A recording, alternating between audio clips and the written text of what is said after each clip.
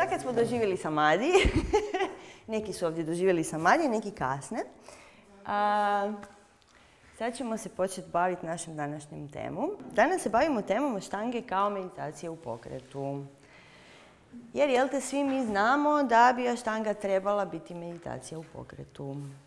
Međutim, to je više onako mučenje u pokretu. Ili samo pokret kao takav. Pokret sa dahom, svašta nešto. E sad,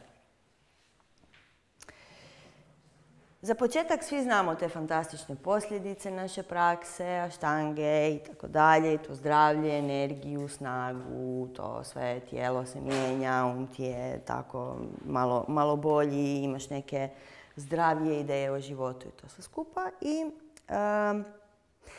međutim, duhovna strana prakse je skrivena u početku. Ne? Kako smo jučer pričali kako idu faze i tako dalje, zapravo ti treba dosta dugo vremena da ti dođeš do te neke, nazovimo duhovne strane štange. U smislu konkretne. Ne?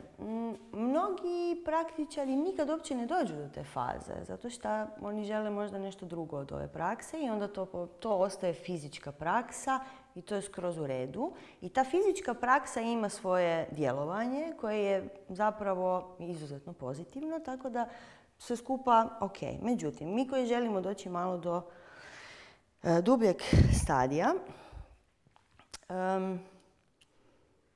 šta trebamo raditi? Samo vježbati. practice, practice, practice and all is coming. Dakle, ta tvoja praksa postaje tvoj unutarnji učitelj i zapravo to tvoje iskustvo postaje tvoj učitelj i učiš na sebi, konstantno učiš iz dana u dan kako si, šta si i tako dalje. Međutim, kako dovesti tu praksu do faze u kojoj ti stvarno staneš na tu prostirku i onda imaš ovaj efekt zviz. Nema misli, nego samo ti, tvoj dah, tvoje tijelo koje leti po toj prostirci. Osim što ti treba 10 godina prakse, minimalno, trebaju ti još i neke upute. Um, pa Tabi Joyce je uvijek govorio da on podučava osmerokraki put iz Yoga Sutri. Dakle, Ashtanga Vinyasa yoga je podučavanje, odnosno prihvaćanje osam krakova joge iz Yoga Sutri koje, jel te sad svi napokon znate? jel tako? Danas ste ih, ja se nadam, utvrdili. I taj tekst kao takav, to ste shvatili, on je ko babuška. Samadi je gore na vrhu, a sve ove ostale stvari se slažu kao slojevi i zapravo dođeš do onog prvog koji je zapravo najteži. Tako, jameni jame, mm, jameni jame su jako teške i zato mi počinjemo s asanama, pa onda dodajemo pranajamu, pa onda shvatimo da je naša praksa prilično onako pratjahara, tako da malo povlačimo osjetila unutra i zapravo tu negdje dolazi do svačanja svih tih krakova joge.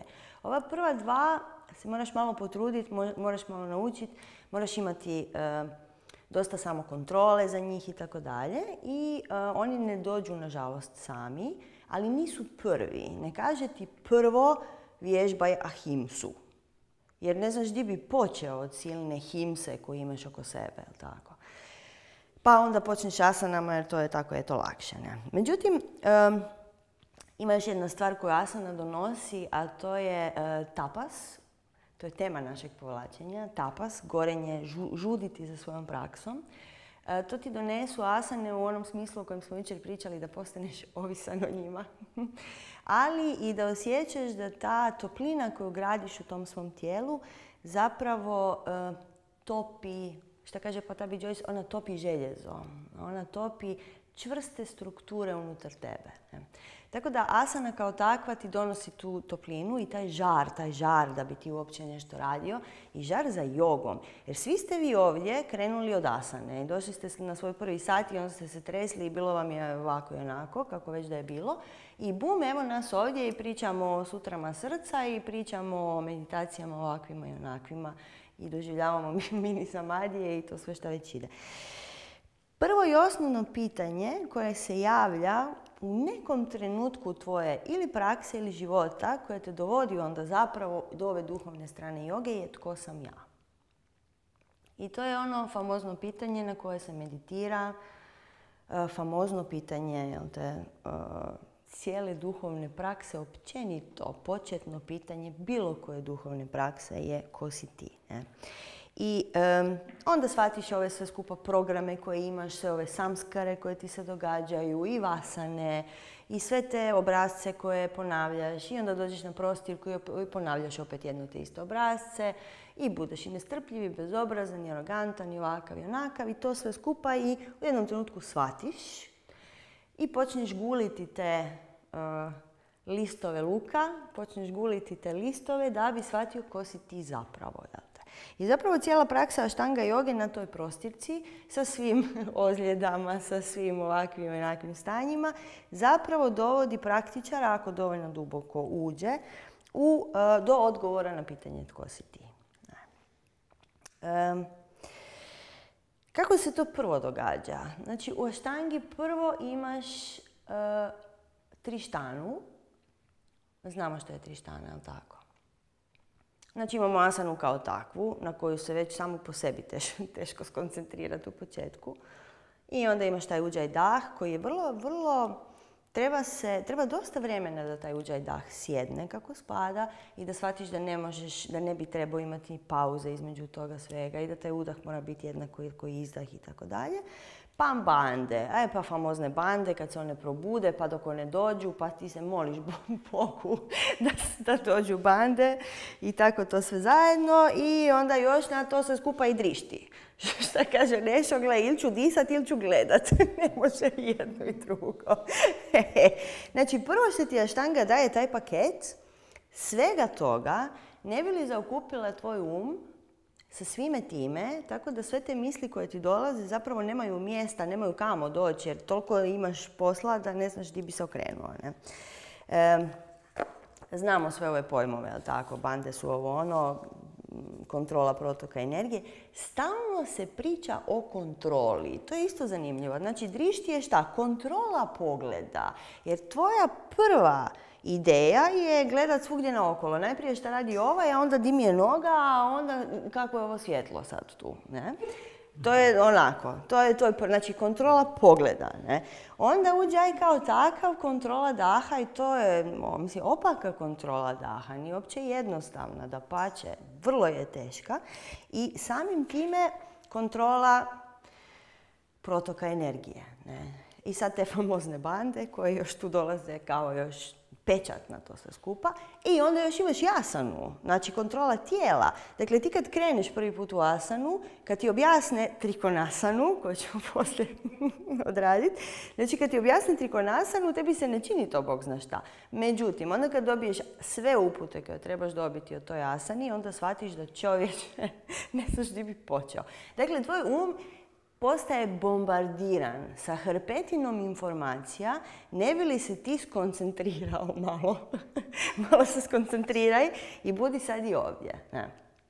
E sad, to je početak i onda u nekom trenutku ti sad dobiješ taj uđaj, dobiješ i taj, svad znaš di ti je drišti, te čaturange, to sve ide kako spada i odjednom mm, ta tvoja praksa opet postaje bombardirana svime i svačime. Jer si se malo opustio, jer malo te, tako te bande rade, nema problema mm, i onda opet počinje šta ja imam danas za raditi i šta ovaj me nazvao, nisam ga još zvao, čovječe dva sata mi traje praksa, kad ću i tako to se skupa.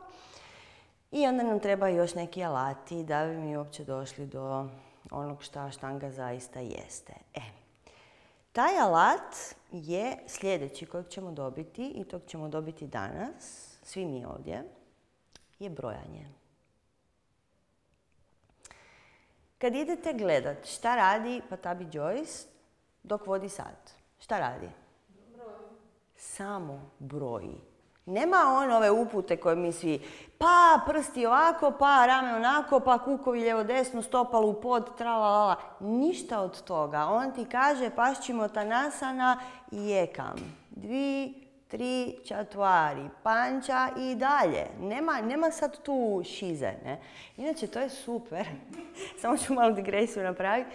Šta je štanga zapravo cijela na sanskritu i vi možete voditi štangu kinezima Kužiš, jer ti kažeš Urdva Muka Švanasana, to je Urdva Muka Švanasana, to nije na kineskom. Ne? Tako da, e, s te strane je to jako super. E, a s druge strane, tebi kao učitelju, tebi kao učitelju zapravo e, onda to isto postaje meditativna praksa. Kužiš, jer ti, mislim, ti moraš znati na kojem si broju. A to nije jednostavno. To nije uopće jednostavno. Dakle, prvo što ćete sad dobiti nakon ovog predavanja, imamo papiriće sa brojevima vinjasa. Nisu logični. Naravno da nisu logični. Jer da su logični, šta bi napravio? Opustio bi se. I onda bi brojio jedan i dva i tri i čatvari i panča i šat i sapta i jašta i b, i. Međutim, ti lijepo imaš početak i kraj ciklusa i svaka asana ima svoj broj. Svaka asana ima svoju vinjasu. Svaka vinjasa ima svoj broj. Tako da ti to onda postane ponovno fokus. E, zašto sad pričamo tek o tome? Zato što nije, nije cool dati početniku tu informaciju uopće. Dakle, ljudi koji dođu na štangu, oni shvate u nekom trenu da se to broji, ali zapravo ni ne pamte broj. Još uvijek su u tom problemu di mi je noga, di mi je banda, di mi je šta mi je. I nema potrebe da se zapravo muče sa tim dodatnim stvarima. Ne? Međutim, uh, mi koji podučavamo i vi koji ćete podučavati, čisto znajte u jednom trenutku kad su vam ti studenti vaši jogi dovoljno napredni, onda im možete dati tu metodu za sebe. Prvo je naravno morate na sebi testirati i na sebi naučiti. Jer tako radi joga. Moraš prvo sebe proći, shvatiti šta se tu dogodilo i onda tek možeš bilo šta sa drugim ljudima. Ne? E, Inače, to brojanje je opet recept za pratjaharu. Znači, opet je recept za to da sve povučeš unutra i da to zapravo postaje tvoja mantra. Jer svaka asana, svaka vinjasa zapravo ima svoju mantru, odnosno svoju malu, ako ćeš tako to gledati. Ne? I točno se zna koja asana ima koji broj. Nije sada to ti nešto tu sam. ne do Bog. Ne. I na, na, taj broj se zapravo meditira. Ne? To znači postoje, ok, ti sad znaš da sad ide sedam, ok, sedam, super. I stvarno pomaže, stvarno pomaže, jer kad dođeš u tu fazu da ovo sve skupa već lagano radi, znaš da to sve skupa ide i sad ti odjednom opet bivaš bombardiran sa raznim stvarima. Dakle, ima i dalje, ali mi ćemo se zaustaviti danas na ovome. Ne? inače, kad gledate neki video gdje on uh, vodi sat, kako se broji? Kako brojimo uh, pranajamu? Ovdje imamo broj. Ovdje imaš malu. 1, 2 i 3 i 4, 5 i 6 i 7 i 8 i 9 i 10, 11 i 12 i ponovo. Puf, puf. Kad gledate stare slike vidjet ćete Krišna Mačariju koji ima, koji je taman negdje na, ne znam, 7. Oni svi broje, zato što je to zapravo jedan od recepata za E, to dobivanje svijesti o tome da si ti sad i tu. Mm. Inače, po vedama, ti brojevi nisu slučajni. Ok, dakle, sad ćemo se samo malo maknuti od štanga vinjosa i joge kao takve. E, nisu slučajni. Dakle, po vedama, za koncentraciju ti treba 12 sekundi. 12 sekundi koncentracije. Možemo probati. Koncentrirajte se na bilo koji objekt ili na bilo koju, bilo šta šta god i 12 sekundi budite u potpunosti bez jedne druge misli. Brojim.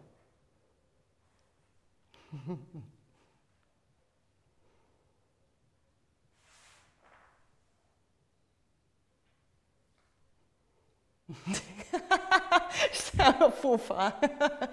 da, dakle 12 sekundi koncentracije je zapravo teško, jako teško.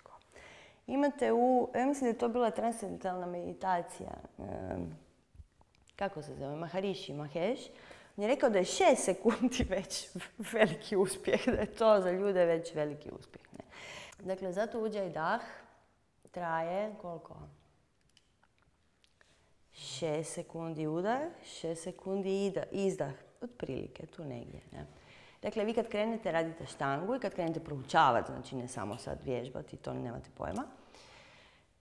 Meni su barem tako moji učitelji rekli, 6 sekundi udah, 6 sekundi izdah. I onda je pet udaha i izdaha koliko? 5 puta 12, ljudi moji, dajte. jedna minuta, tako. Dakle, jedna minuta, ti stojiš u asani jednu minutu samo. Čini ti se kode, ovisi koji asani, ali čini ti se puno. Jedna minuta treba tijelu da zapamti položaj. Da zapamti položaj za sljedeći put. E. Dakle, 12 sekundi koncentracije. E, to bi bila Darana. Dijana bi bila 12 puta 12. Meditacija je 12 puta 12 sekundi. Koliko je to?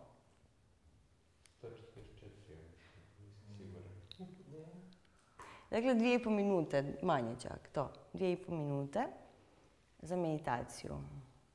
Što ti je opet malo, jel tako? Jako je malo. E, ali ajde probaj biti koncentriran dvije i po minute. Toliko da nemaš ni jednu misao. Teško je. I onda je naravno samadi tu također u toj matematici, a to je 12 puta 12 puta 12. I dakle, i tu je, tu je zapravo srž joge, tu je ta kontrola uma. Ti trebaš iskontrolirati to, taj um. Jer dakle, tijelo radi, ali um je problem. Kužiš? Jer on te zadrži, on, on ti u jednom trenutku uzme moć. Um, anyway, da mi krenemo dalje. Dakle, tek kad uloviš taj uđaj dah i kad uloviš to sve skupa, tu počinje duhovna praksa. Odnosno, tu možeš početi tek raditi na meditaciji u pokretu. Naime, meditacija u pokretu je jako teška. Jel te? Moraš biti kompletno svjestan stvarni, stvari koje su unutra. Međutim, budući da radiš svaki dan i budući da je tvoja svakodnevna praksa tvoje sidro, tvoje mjesto kad ti ideš istražiti tko ti jesi, samim time, jel te, svaki dan imaš šansu da ako ništa drugo poboljšaš tu praksu, a gle, možda jedan dan te zvizne. I stvarno odradiš taj uđaj kako spada i sve te stvari kako spada. Ima dana kad ti je praksa fantastična i onda sutra dan dođeš na tu prostirku i ne valja ništa, sve se raspada jer se ti negdje raspadaš. Jer šta? Jer nemaš kontrolu. I naravno, niko ti to ne može drugi, niko to umjesto tebe ne može napraviti. Jer je yoga sama po sebi iskustvo. Treba ti zato to malo teorije, taj 1% teorije ti treba da ove stvari čuješ. Jer ove stvari čuješ onda kad si za njih spreman. Ne čuješ ih nikad prije. Jer ako vi za to sad niste spremni, otićete kući sutra, odnosno tu ćete sutra raditi svoju praksu ko da ovo nikad niste poslušali. I o, to je ok, to je skroz u redu. Um, anyway, dakle, da bi ti otkrio odgovor na pitanje tko sam ja, šta ti treba? meditacija. Dakle, meditacija ti jedina daje odgovor na pitanje tko sam ja. Zašto? Zato što meditacija, nazovimo to, ukloni viškove i ti zapravo dobiješ tu srž, odnosno dobiješ uvid u tu srž svojeg vlastitog bića. Ne? I zato se kaže da je meditacija uvid u pravu prirodu stvarnosti, uvid u pravu prirodu stvari. I sve ovo čemu sad malo prije Sergio pričao, to famozno prosvjetljenje i tako dalje, to je prava priroda stvari. Uvid u pravu prirodnu stvarnosti ti ne može dati e, nešto što je izvan tebe. E, I zato radimo mi sami na tome što sve radimo. Naravno da moraš imati učitelja koji će ti ovakve stvari ne reći ako ništa drugo, pa ćete onda tri godine kasnije podsjetiti ponovo. Jel ti brojiš? Mm. A ne broj, pa daj. Onda ti kažeš, brojiš nikad čuo.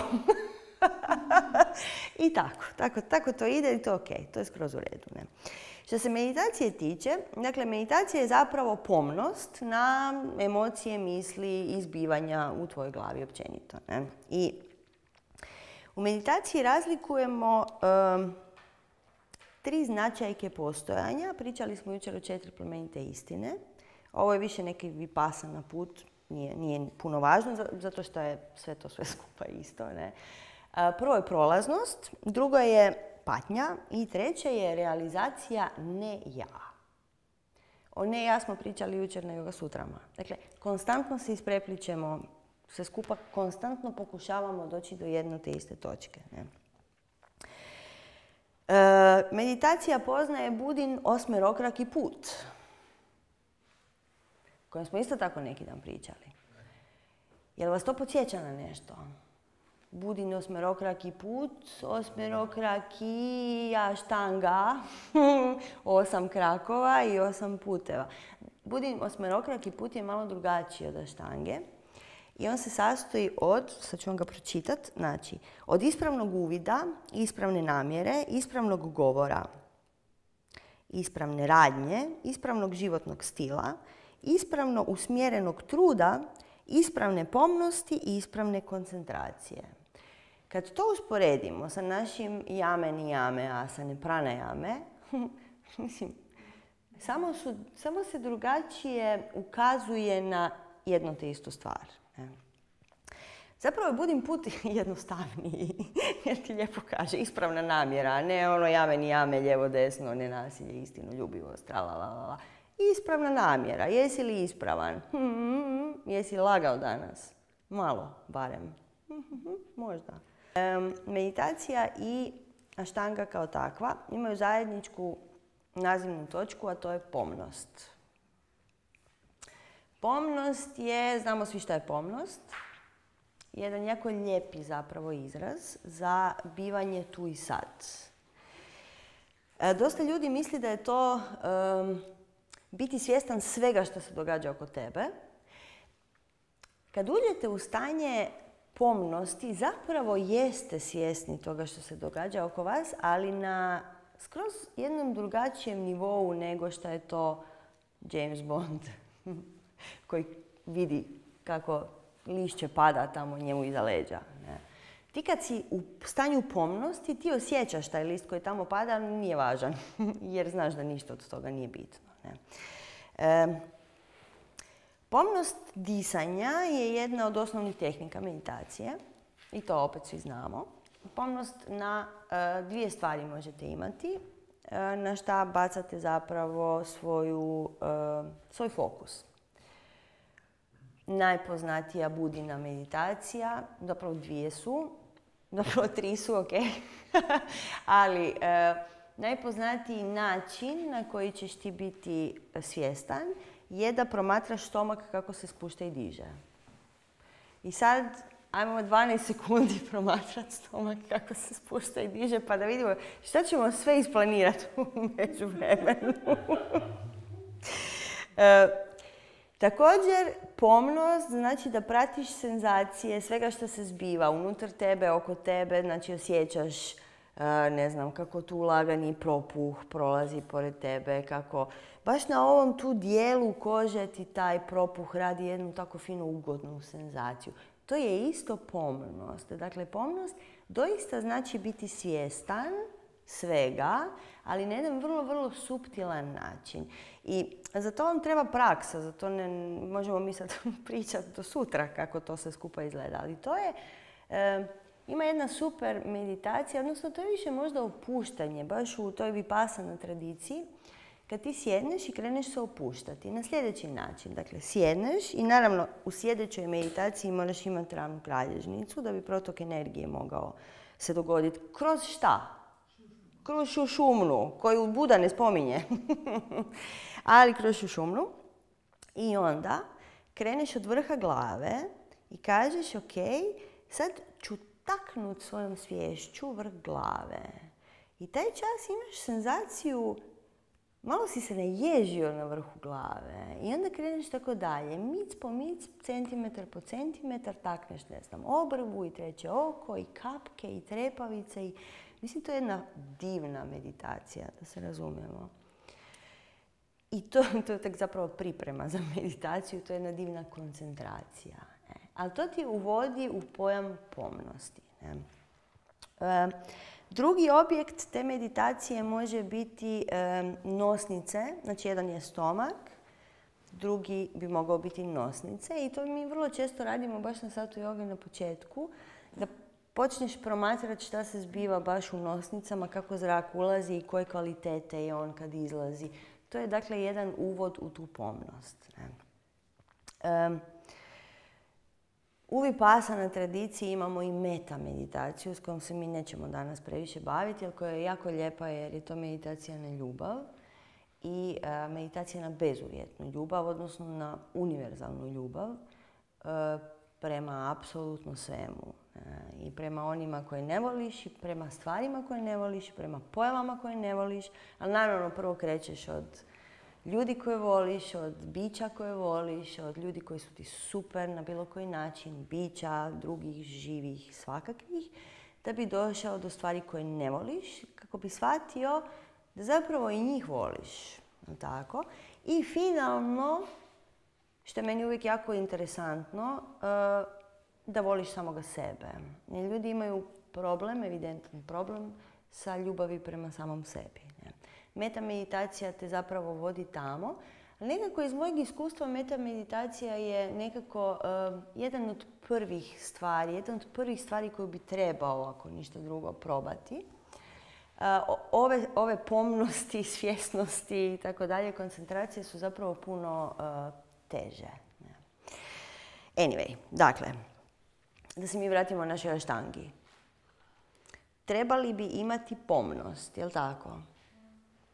Jer imamo tijekom cijelog sata šta? Još imamo jednu veliku pomoć, a to je da štanga, mislim da je jedina, kao takva vrsta stil joge, sadrži pranajamu koja se radi cijelo vrijeme.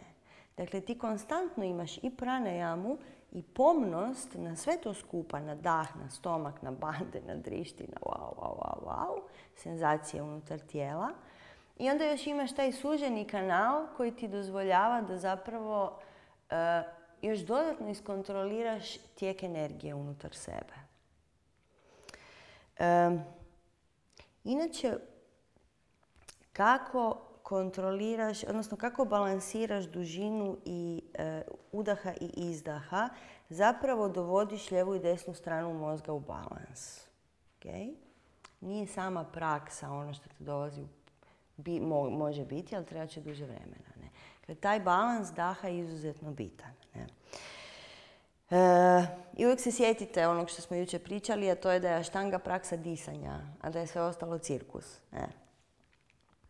Meditacija kao takva, sad smo spomenuli, dakle postoji sjedeća meditacija koja se radi s kojom već mudrom hoćeš, koja ti već treba, e, sa dugačkom kralježnicom.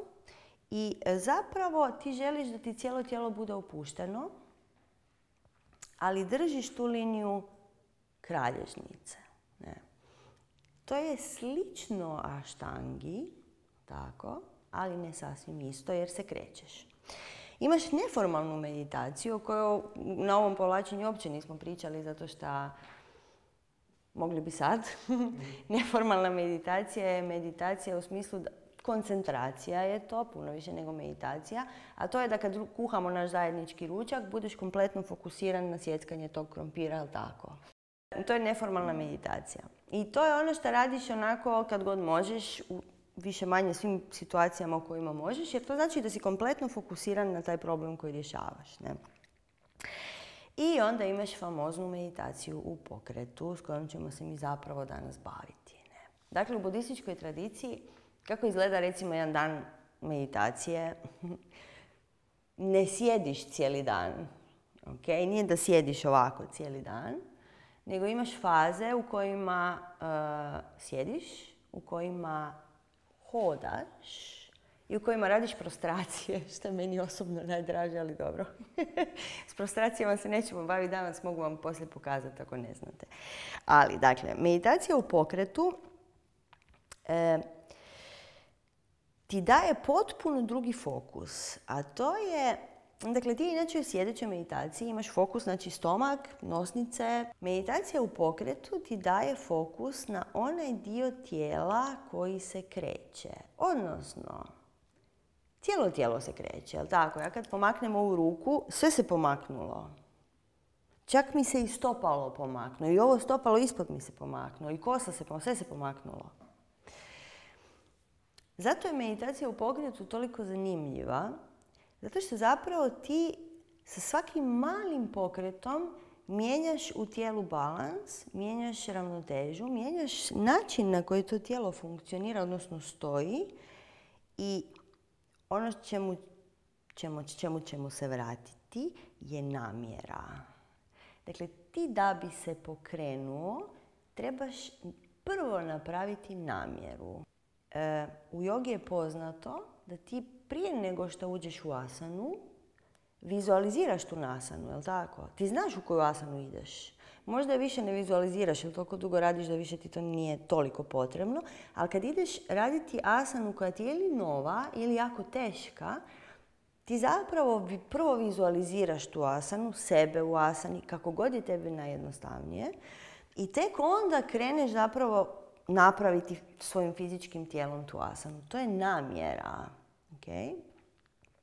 I kad bi mi mogli ući u karandavasanu na način da ti dođeš, staviš rukice i kažeš ok, uh sad ću ja posložiti svoje tijelo na način da ovo ide tamo, ovo ide tamo, ovaj fokus ide tamo, banda ide tamo, noge mi idu tamo, stopala su ovdje, sa svim mogućim detaljima ti bi ušao u tu asanu. Jel tako? Međutim, to tvoj um nije u stanju. I ok, tvoje tijelo je slabo, bla bla, imaš to izgovora, jel tako? Ali ta namjera postavljanja svog tijela u neki položaj je također dio meditacije u pokretu.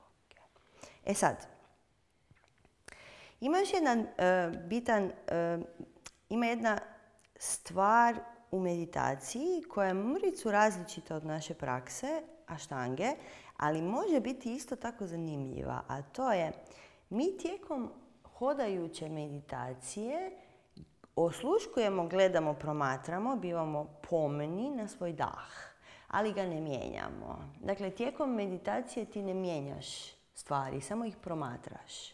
Okay? Ti tijekom aštanga joge mijenjaš svoj dah i radiš pranajamu. Međutim, u jednom trenutku ta pranajama postaje poluautomatska, taj uđaj ide sam. I šta onda radiš? Pauze. Jer šta? Gubiš pomnost na dah. Ok? Tu je ta paralela, barem iz moje neke perspektive gledano. Ne? Je li ima pitanja do sad?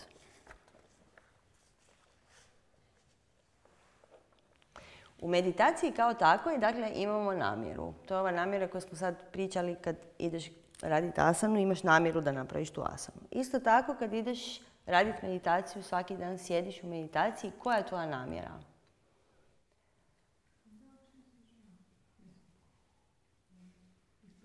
Ispravna namjera.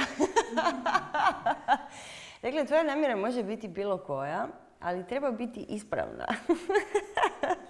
Ispravna namjera te vodi do neke vrste uh, uklanjanja patnje. Okay?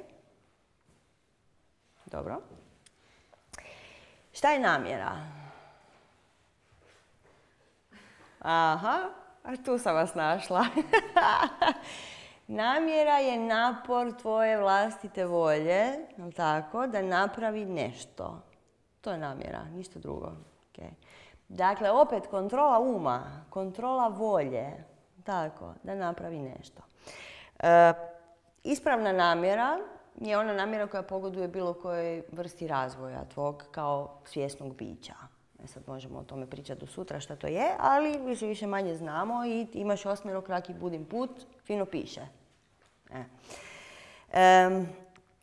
međutim, Dakle, zašto, zašto sam posvetila ovaj komad predavanja namjeri? Zato što šta se događa kod nas i našoj praksi i u našem svakodnevnom životu se događa da radimo stvari kako?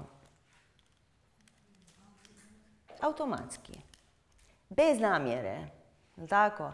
Da bi ti osvijestio da imaš namjeru, moraš na trenutak zastat. Na taj jedan mini, mini, mini trenutak moraš zastat da shvatiš uopće šta se dogodilo i da prestaneš imati reakciju i da imaš akciju. Tako. Znači, ako si zastao, možeš osvijestiti svoju namjeru. Jel to ide kako? Ok. Dakle, moraš zastat Šta znači da si zastao? Znači da si šta? Da si poman, da si ovdje i sad. A ne da misliš na nešto deseto i hodaš, radiš, skačeš svoju čaturangu možeš raditi čaturangu 300 godina i neće se ništa dogoditi po pitanju tvog duhovnog napretka ako nisi svjestan toga što radiš. Tako? Da bismo znači napravili akciju umjesto reakcije moramo usporiti. I zato kad gledate majstore kako rade, čini vam se da je to sve skupa kao jedan usporeni film. No tako? Dakle, naravno, s vremenom, ja se bar nadam, dođeš do toga da ovo sve skupa postane jedan mehanizam koji radi i na koji ti ne moraš toliko puno pažnje posvećivati. Međutim, da bi to sve skupa napravio, moraš to sve skupa osvijestiti. E. Dakle, meditacija, od, e, meditacija u pokretu je sastavljena od niza namjera. Dakle, da bi ti se sad di gospoda, šta, moraš, šta se mora dogoditi sve? Moraš odlučiti da se želiš dići. Moraš odlučiti da se želiš dići. Zatim? Znači, moraš najprije, ok, sad ću dignut koljena, i to je već debelo, debela namjera. Onda ću postaviti stopalo na pod, onda će to stopalo biti čvrsto u podu, tako da i onda ću ovo drugo stopalo postaviti u pod i onda ću moliti Boga da moji trbušni mišići su dovoljno jaki da se ja tu dignem, jel tako? Ljudi koji nemaju ovakve trbušne mišiće imaju još mnogo više namjera u među, vremenu, da bi to uopće napravili. Dakle, to je ono o čemu pričamo. Pričamo o zastati na trenutak i uopće shvatiti šta radiš. Dakle, nismo ni došli do toga da ti kad položiš to stopalo na pod, što se zapravo, koje senzacije su se dogodile tu, koje senzacije su se dogodile svugdje. Dakle, cijelo tijelo je promijenilo položaj. Ti to osjećaš u svom centru gravitacijskom, naravno. Ti osjećaš to svugdje. Promijenila ti se cijela konstrukcija. Dakle, taj niz namjera ćemo sad ići osvijestiti. E, sad ćemo se dignuti. Sad ćemo se dignuti i stavit ćemo svoju prostirku na svoje mjesto ili na neko mjesto koje vam se sviđa. Stati ćemo na kraj svoje prostirke ili na pod, to je isto, pod je fajn. I najprije ćemo zatvoriti oči. Ok? Na kraj ili na taj? Najprije ćemo zatvoriti oči i samo ćemo osvijestiti stopala u podu.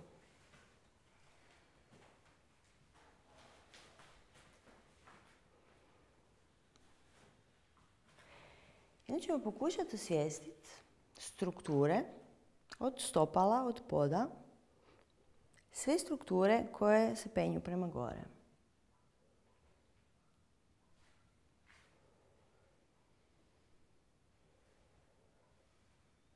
Tom mirnom stajaćem položaju ćemo doći do vrha glave i osvijestiti apsolutno cijelu unutrašnjost tijela.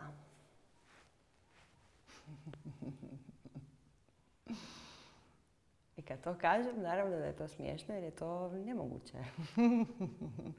Zadatak koji može trajati cijelu noć.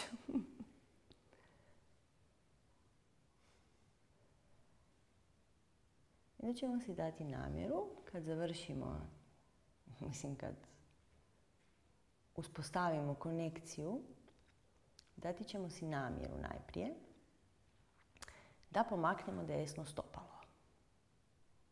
Odnosno, prva namjera u nizu pomakni desno stopalo bi bila odigni najprije vjerojatno petu desnog stopala, onda cijelu površinu desnog stopala, pa sve prste desnog stopala i to ide vrlo polako da bi ti shvatio šta se promijenilo u tvojoj strukturi. Nećemo još koračat, nego ćemo samo dignuti stopalo od poda. I ostat ćemo sa tim stopalom u zraku, jer mu nismo dali namjeru da ništa drugo napravi, tako?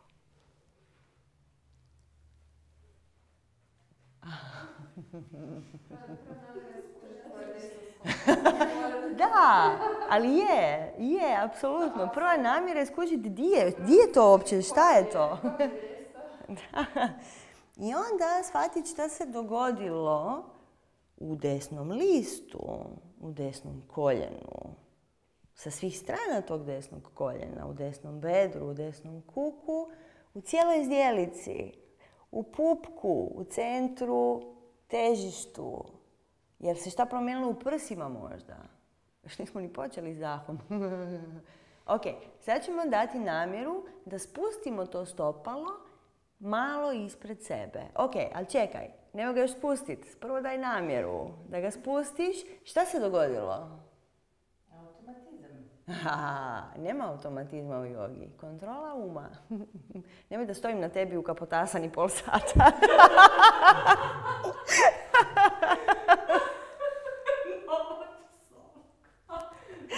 to bi uživao. Znaš koja bi to namjera bila? No? Kad date namjeru da stanete sa tim stopalom, šta, prvo, šta ćete prvo spustiti na pod? Kako se ta koža koja sad dotaknula taj pod, tu prostirku, di god već da hodate, da pokušavate stati, šta je s tom kožom?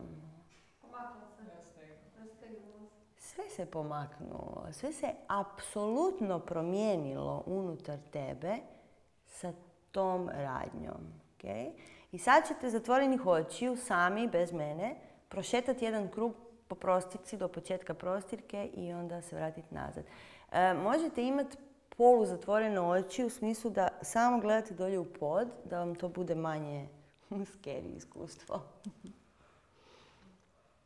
ok, jeste skužili point?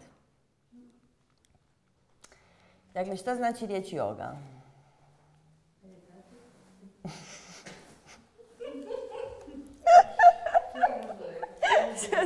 Šta znači riječ yoga? Ujediniti, jel tako? Ujediniti šta između ostalog? Um i tijelo. Sve. Pokret, dah, sve šta god, drišti, sve. Ujediniti sve. E sad ste shvatili koliko je teško ovo, jel tako? Da ti doista hodaš po toj prostici i imaš apsolutnu svijest u svakom trenu o svojoj koži, o svojim mišićima, o svojim kostima, o svojem dahu, o svojim organima, o svojem ne znam ja čemu, svemu. E. e sad, kad smo to shvatili i spojmili, sad ćemo pokušati napraviti jedan pozdrav suncu. Ima još jedna stvar. Dakle, e, asana kao takva, ona je jedna vrsta pečata, to je jedna vrsta mudre. I svaka asana usmjerava energiju na određeni način. I zato vi imate reakcije na asane. I zato asanama možemo razbiti blokade i tako te neke stvari. Asana je, i zato ona ima svoj alignment i zato ona ima svoj točan položaj, znamo šta radimo. Tako. E, asana kao pečat te vodi do toga da ti kad uđeš u tu asanu, doista možeš osjetiti taj protok energije. I kad radiš asanu na ovaj način, možeš točno skužiti kad je krivo radiš. Jel tako? I zato tek kad uđeš u praksu kao meditaciju u pokretu, možeš raditi bez učitelja.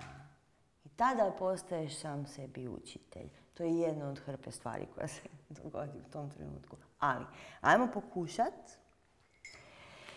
praviti pozdrav suncu A i bivati svjesni svake senzacije koja se događa unutar tijela. Svake koju možeš pomisliti, svake na koju možeš svoju pomnost usmjeriti. Okay?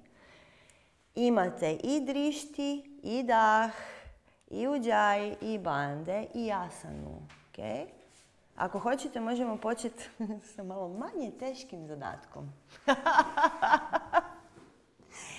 Početak vam je samo stiti di je to već idemo posložiti stvari, jel tako? Kad učitelj kaže samo stiti, ti kažeš aha, stopala, palče zajedno, pete odvojene, koljena gore, bedra aktivna, banda aktivna, poduci zdjelicu, otvori prsa, izduži vrat, bla bla, otvori ramena, izduži prste, pogled je di, di već je, niz nos ili šta već, dugačak dugačko tijelo i to je sve sama stiti. Još nismo uopće došli do pokretanja. Okay?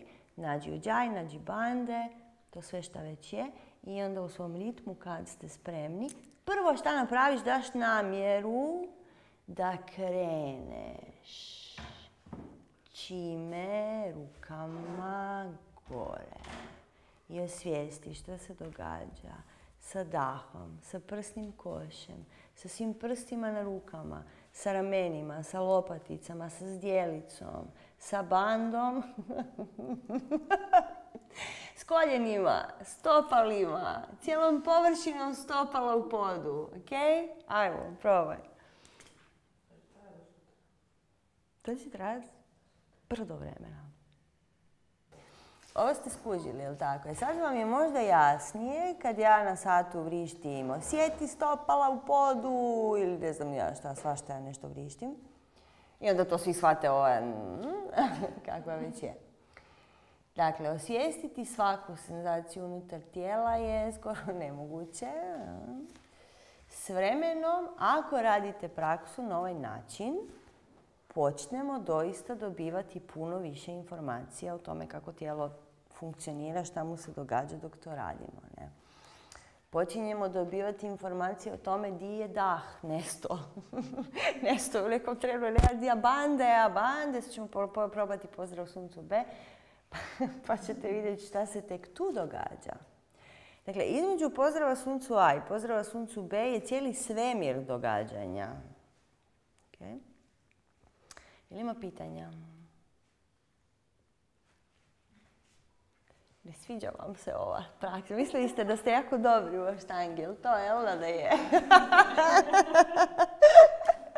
Nema frke, svi smo ovo prošli. Još jedan put, pozdrav suncu B. Će trajati pol sata. Ali baš osjeti sve. Stopalo, pod, prste, kožu, odjeću na sebi. Di ti se ta majica dotiče sa čime? Kako ti stoji taj rep na glavi? Gdje je težina tog repa na glavi? Kužiš, probaj sve. Probaj osjetiti zrak u prostoru, probaj osjetiti kad bi upalili ovu puhalicu, bilo bi još zanimljivije. Nećemo. Nećemo, jer bi bilo prezanimljivo. ok, kad god ste spremni, uđaj, bande, sama stiti za početak. I namjera, nemojte zaboraviti, vidim na faci kad zaboravite namjeru.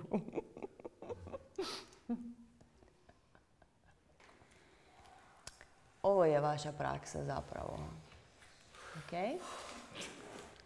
I budući da nisi još uvijek toliko svjesno biće i nemaš toliku pomnost da možeš paziti na sve te stvari odjednom, onda je bio moj savjet da si uzmeš jednu temu pa da radiš na toj temi neko vrijeme, na tom kao pazi problemu. Ne? Međutim, ono što je zapravo poanta ove moje današnje cijele priče je da ti zapravo dva sata dnevno, ili koliko vremena imaš, ne moraš ti sad svaki dan skakati dva sata, e, radiš meditaciju. Malo prije smo zaključili da je šest sekundi koncentracije užasno puno za ljude tako. Dva sata potpune koncentracije, šta ti Aštanga u jednom trenutku može donijeti? Da pače, želi, mislim to je njezina ideja. Dakle, ovo što ste sad poprobali, to bi trebali raditi stalno. Mislim, nema šanse da dođe neka misla, čići diće, u kojoj, u kojoj buci da se probije. buci čega? Senzacija ali senzacije koje su rezultat pomnosti, jel tako? Rezultat svijesti da si ti sad i ovdje. I dok ne dođeš do toga, a sad dodaj još i broj na ovo sve. By the way. da, ti imaš dva sata ili sat ili pol sata da radiš to na ovaj način. Znači da stvarno budeš svjestan tog promjene težine, tih dodira kože sa podom. Za početak, dakle, za početak ne možeš kontrolirati ni džaji, ne možeš kontrolirati ni bande, ne možeš ništa ne možeš kontrolirati. Zato je štanga osmerokraki put, a ne skakanje čaturange po prostici. Okay? Zbog ovoga. Zbog toga što s vremenom, ako znaš šta radiš i ako doista želiš to napraviti kako spada, dođeš do toga da budeš doista u stanju sad i ovdje biti svjestan svih senzacija za početak unutar svog tijela, svog daha i svega ostalog što se zbiva. Ne? Dakle, ti si svjestan temperature, ti si svjestan zvuka, svjestan, to ne znači da ćeš se zakačiti na njega, jer nemaš kad, ne stigneš se ti sad zakačiti na to što je toplo ili hladno. Samo primijetiš, ok, hladno, whatever, i sad idem dole, vidi centar, pete, glava, ovo, ono, dah, bande, čudo. Nema onda niti onog, aha, sad moram skočiti u čaturangu nakon ovog, kak ću to. Sad je utkatasana i sad ja vidim, vidim na faci. Čim ljudi uđu u utkatasanu, već je drama, jer sad će morat skočiti. Ali to nije, to nije sad, kuži, ili ratnika dva. E, ratnika dva, čim uđu ratnika dva, kako ću ja to ono tam se prebaciti? Ne, to je, prestane to jer imaš sve ove stvari s kojima se trebaš zamoriti. Tako da, sutra ujutro praksa, će vam biti drugačije, jel tako? Dakle, ovo što smo danas sve radili, ovo sad imate 10 godina posla. E, ovo je sukus hrpetine stvari, jer e, to, a štanga nije skakanje. I super da ti možeš skočiti nakon utka tasane. jako lijepo. Ali to nije poanta. Okay? Poanta je da stvarno dobiješ tu pomnost i da dobiješ taj, taj, e, tu ideju šta, šta radiš, kako ti je danas, ko si ti u krajnjoj liniji. Ne? Okay. Je li ima još pitanja?